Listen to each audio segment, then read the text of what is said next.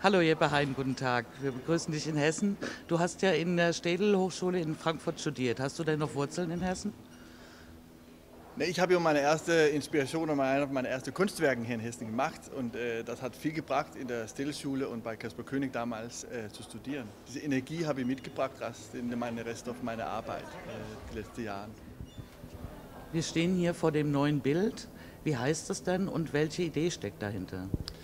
Ja, das, das heißt Breathing Watercolor. Und das, äh, das ist eine längere Idee, das hat vor neun Jahren angefangen, äh, wo ich meine, mein Leben äh, muss neu, neu anschauen. Ich habe eine, so einen Zusammenbruch, ich habe einen Burnout komplett. Ich habe äh, viele Jahre um die Welt gereist, meine Sachen zu machen. Ich habe Liebe, ich habe Anerkennung, Erfolg gesucht, außerhalb mich selbst. Und plötzlich war es einfach zu viel. Da habe ich so viel Angst bekommen, dass ich äh, mich lange äh, zurückziehen musste.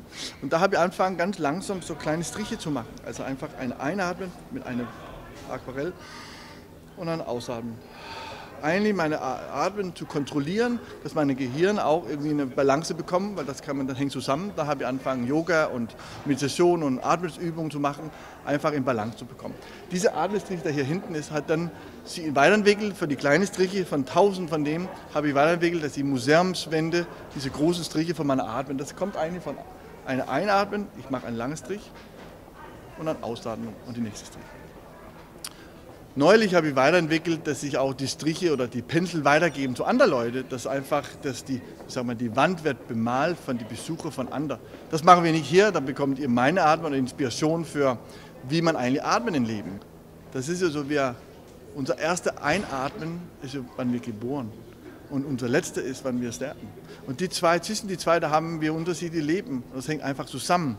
Das heißt, wir mit unser Atmen hängt einfach zusammen.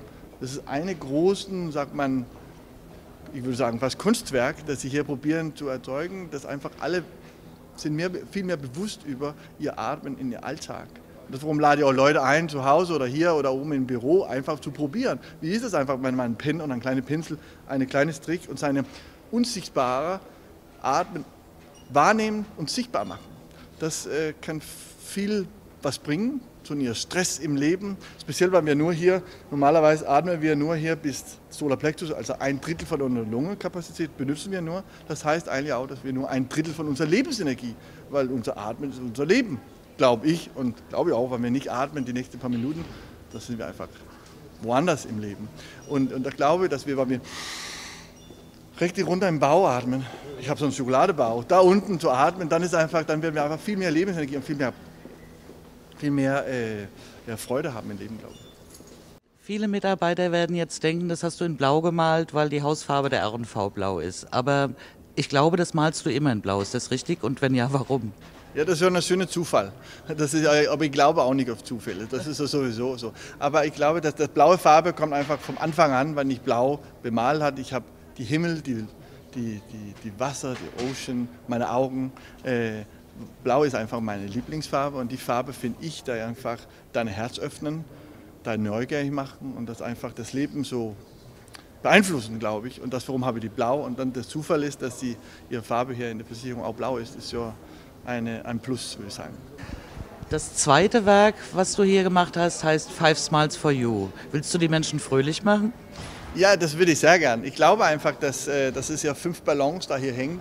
Ähm, ich glaube, dass ein Lachen zu jemand anderem ist sehr wertvoll. Ich glaube, wir sollen viel mehr lachen zueinander. Ich glaube, ein Lachen ist frei, umsonst und man kann es eigentlich rausgeben wie. Aber das kann auch manchmal einer der schwierigsten Sachen im Leben, ein Lachen zu jemand anderem zu geben. Und ich glaube, ein Lachen kann dein Herz öffnen. Und ich glaube, was wir brauchen, in unserer Gesellschaft, in unserer Welt, ist viel mehr unser Herz zu öffnen, viel mehr Empathie zu geben zu anderen Leuten. Äh, deswegen würden wir eine ganz andere Balance bekommen. So, ich, so meine Werk hier, Five Smile, äh, Five Smile for You, also fünf Lachen eigentlich, ist äh, fünf oder fünf Ballons ist, das können auch 10 oder 20 oder 100.000 sein. Äh, für mich glaube ich, das, was man gibt zu anderen Leuten, bekommt man auch zurück. Viel mehr. Äh, und ich glaube, dass das, dieser Ballon hier für mich so ähm, eine eine Wunder. Man kommt rein von vorne in das Gebäude, da sieht man vielleicht durch die Fenster, diese schöne offene Fenster, sieht man eine rote Ballon, da ein kräftig da hängen und dann so leuchten, dann kommt man rein im Foyer und gucken vielleicht hoch und wundert sie eine Sekunde sagen, komisch, hat jemand seinen Ballon verloren oder war da gerade ein Kindergeburtstag oder was ist, was ist das? Aber die wundern sich. Aber die denken vielleicht, wie ist das Gefühl? Jemand, wir kennen vielleicht alle oder teilweise, weil man einen Ballon verliert und das schwebt hoch und die Kind wird traurig oder jemand anderes wird traurig. Also diese, was ist für eine Geschichte, dass man mit sich haben, weil man irgendwas entdecken. Und ich glaube, die Ballon her könnte wundern, Freude, Geschichten erzählen, das einfach jemand inspirieren. Und wann man dann vielleicht eine Splitsekunde von seinem Büro rauskommt oder ein neuer Besucher kommt und dann plötzlich gucken hoch und sagen, komisch, das ist hier hinten, da drüben, was, was ist das denn? Und vielleicht denkt man nur kurz und wundert sich und dann geht das Leben weiter. Spiegel spielen ja auch eine große Rolle in deinem Werk. Die Ballons sind auch verspiegelt. Was ist der Grund? Ja, aber das Spiegel ist so, ich würde lieber sagen, meine Kunstwerke geht, ist ein Werkzeug. Ich sehe meine, die meisten Kunstwerke, die sie machen, als ein Werkzeug für Kommunikation und Dialog. Und die Kunstwerke wie die Ballon oder die Artindustrie wird man installieren, kommt im Museum, in einem öffentlichen Raum oder in einer Galerie oder hier. Und da fangen das erstmal an zu kommunizieren. Die verspiegelt sich mit jemand anderem. Du siehst die Raum, du siehst dich selbst in der Ballon, wenn du hochgucken. Aber Spiegel ist für mich auch so eine eine sehr wichtige Medie. Wir kennen alle den Spiegel, aber Spiegel ist auch, traut man sich selbst ins Spiegel zu gucken. Und nach meinem meine neuem Leben, würde ich sagen, und neue Verdi im Leben, nach acht, vor acht Jahren her, da habe ich, hab ich so viel in mir selbst ins Spiegel geguckt. Ich habe ich hab geguckt, ähm, was, wem bin ich eigentlich? Wie bin ich, wo bin ich hin, oder wo muss ich hin oder wo will ich hin in mein Leben? Und ich glaube, der Spiegel traut sich viele Leute nicht reinzugucken, weil das ist auch nicht schön, was man da reingucken. Wir haben alle unser Trauma äh, von Kindheit und so weiter. Und ich glaube, das ist, das, ist sehr wichtig, dass man da reingucken, weil man, weil man einfach diese Sachen aufräumen und begegnet. Und so ist es mit Angst. Jetzt komme ich weiter. Der Angst im Leben ist ja oft, wir werden mehr, mehr ängstlich, weil, die, weil wir mehr Informationen über alle in Welt bekommen von nicht schönen Sachen. Und ich glaube, wenn man die Angst begegnen, würde das langsam lösen und unser Leben wird viel freier.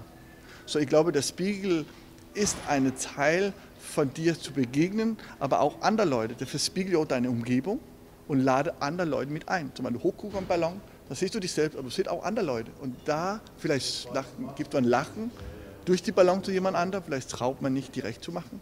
Also so glaube ich, dass die Ballon so eine Kommunikationsebene äh, hier unten, vielleicht eine Cafeteria nachher, weil die Leute sagen, ist das Kunst oder nicht oder so. Aber das ist ja auch ein Teil von das Ganze mit diese Kunstwerke zu, rauszugeben zu der Welt und zu euch. So, bestimmt sind jetzt viele Mitarbeiter neugierig geworden, andere Werke von dir zu sehen. Ist denn irgendwas Neues geplant in nächster Zeit? Nächstes Jahr äh, passiert viel Sachen, aber einer der größten Sachen ist ein Projekt, das heißt Breathe with Me. Äh, das darf ich eigentlich richtig ankündigen, aber das wäre ein Projekt in den USA, in New York, wo ich, äh, wo ich probiere, die ganze Welt zu atmen zusammen. Das heißt, das wäre ziemlich nahe das hier. Ich würde Leute einladen, ihr Striche zu zeigen und ein Teil von einer eine Wahrnehmung vom Umwelt und von den Global Goals eigentlich, von UN und probiert einfach da irgendwie das so zu einbinden, dass wir uns unsere Arten viel mehr wahrnehmen, aber auch, dass wir alles zusammenhängt. Und ich glaube, weil man alle, wir zusammen unser Herz viel mehr öffnen für uns oder gegenüber jemand anderem, dann glaube ich, können wir auch die Welt ändern. Oh, vielen Dank. Das war ein schönes Schlusswort. Viel Erfolg. R&V. Die Versicherung mit dem Plus.